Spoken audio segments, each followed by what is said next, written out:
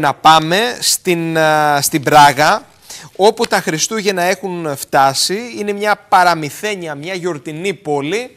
Πολλοί μάλιστα αποφασίζουν και από την Ελλάδα διαχρονικά και πριν από την πανδημία κλείνουν ειστήρια και πηγαίνουν στην περιοχή προκειμένου να ζήσουν και να μπουν έτσι σε ένα διαφορετικό κλίμα Χριστουγέννων. Έχουμε πει πολλές φορές ότι υπάρχουν κάποιες περιοχές όπως η Αυστρία, στη Γερμανία, στο Μόναχο που πήγαμε χθες και η Πράγα που μυρίζει λίγο πιο έντονα ε, μυρίζουν λίγο πιο έντονα τα Χριστούγεννα.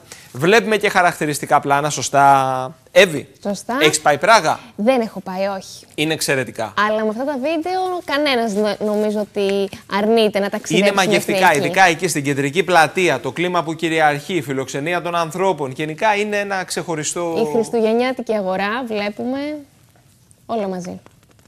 Ναι. Μάλιστα. Λοιπόν, ε, πάμε στην κυρία Κική Κυρέζη. Είναι Ελληνίδα κάτοικος στην, ε, στην Πράγα. Την καλησπέρα μας από Κρήτη. Καλησπέρα από Πράγα. Τι κάνετε; Θα πούμε ότι ζηλεύουμε η αλήθεια είναι. Βρισκόμαστε στην Κρήτη. Ε, ναι, σας, σας αντιλαμβάνομαι. Αλλά... Είναι πάρα πολύ ωραία. Είναι πάρα πολύ ωραία.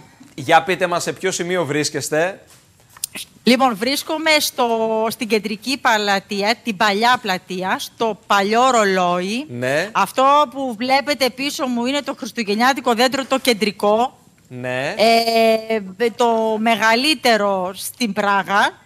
Ε, δεν ξέρω αν βλέπετε καθόλου τον κόσμο. Έχει πάρα πολύ κόσμο. Έχει... πάρα πολύ κόσμο, ναι. Μετά, και το συζητάμε αυτό πολύ, γιατί μετά από τον κορονοϊό και πέρσι που ήταν σχετικά πεσμένη κίνηση, φέτος έχει πάρα πολύ κόσμο. Αλήθεια σας λέω. Δηλαδή, μας θυμίζει εποχές προ-κορονοϊού. Δηλαδή, τουρίστες που έρχονται τώρα για τα Χριστούγεννα στην περιοχή ή και ντόπιοι που βγαίνουν έξω κάπως περισσότερο από τη διετία του τουρίστες, COVID. Τουρίστες, τουρίστες. Αρκετοί τουρίστες. Αρκετοί τουρίστες, βέβαια. Έχουμε και πολλά σχολεία από την Κρήτη, να ξέρετε, αυτές τις μέρες που έρχονται περθήμεροι.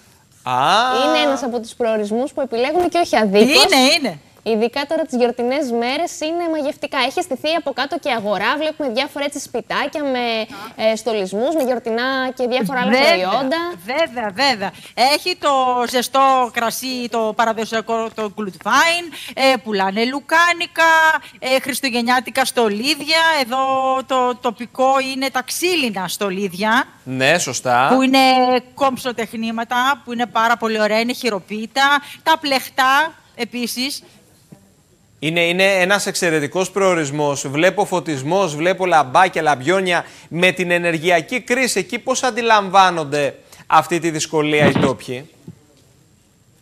Α, κοιτάξτε, υπάρχει μια σχετική αύξηση στο ρεύμα. Βέβαια, τώρα στην προσπάθεια να όλοι να νιώσουμε λίγο το πνεύμα των Χριστουγέννων, τα έχουν αναμένα όλα τα λαμπάκια. Όλα. Σε όλη την πόλη. Ε, και μετά τα μεσάνυχτα υπάρχει φωτισμός εκεί στο κέντρο. Γιατί για παράδειγμα χθε.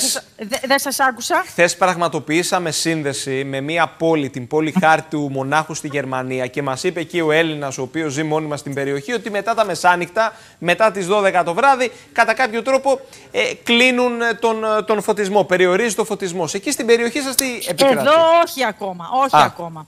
Αν δείτε βέβαια πίσω μου. Ναι. Ε, το κτίριο που είναι φωτισμένο είναι η Μαύρη Παναγία. Ακριβώς είναι εξαιρετικός εκεί ο προορισμός. Όπως μας λέει, γενικά ασχολούνται πολύ οι ντόπιοι με την. Βέβαια, σας ακούμε. Δεν ήταν φωτισμένοι. Α, οπότε φωτίστηκε. Ναι,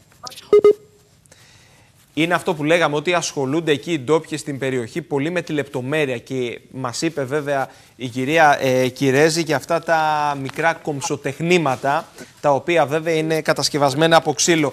Σας ακούσαμε. Θέλω λίγο να μας πείτε για την ελληνική κοινότητα εκεί στην περιοχή. Λοιπόν, η ελληνική κοινότητα αποτελείται από περίπου 3.500-4.000 Έλληνες. Ναι. Ε, άνθρωποι που ήρθαν τα τελευταία χρόνια λόγω εργασίας.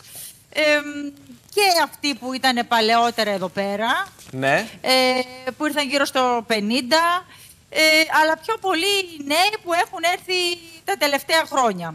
Υπήρχε μια κάμψη λόγω κορονοϊού, αλλά τώρα πάλι οι εταιρείες ε, προσλαμβάνουν αρκετούς. Οπότε υπάρχει μεγάλη και μεγάλη ζήτηση και μεγάλη αύξηση θέσεων εργασίας, οπότε ευτυχώς έρχονται, Όμορφα. έρχονται νέοι. Κυρία Κυρέζη. Νέοι, νέες, ναι. νέα ζευγάρια, νέες οικογένειες. Το μήνυμά σας εδώ στους κριτικούς που σας παρακολουθούν και όχι μόνο σε όλους τους Έλληνες, ποιο είναι, ζωντανά;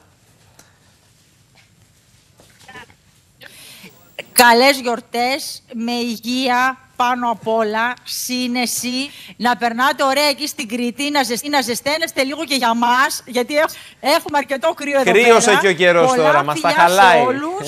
ε, έχουμε τρεις βαθμούς τώρα εδώ πέρα. Αν δεν βλέπετε. Ε, Εδώ πρέπει να έχουμε 13. Κουκουλωμένοι. Είμαστε 10 πάνω. λοιπόν, Ε, εσείς έχετε 13. Αν να μπορείτε Το, να το απολαύσετε. να το γυρίσετε απολαύσετε. λίγο και την κάμερα εκεί του κινητού να δούμε λίγο από Πράγα ζωντανά μέσα από την Κρήτη σήμερα. Θα Βεβαίως, ήταν το ιδανικό. βεβαίως.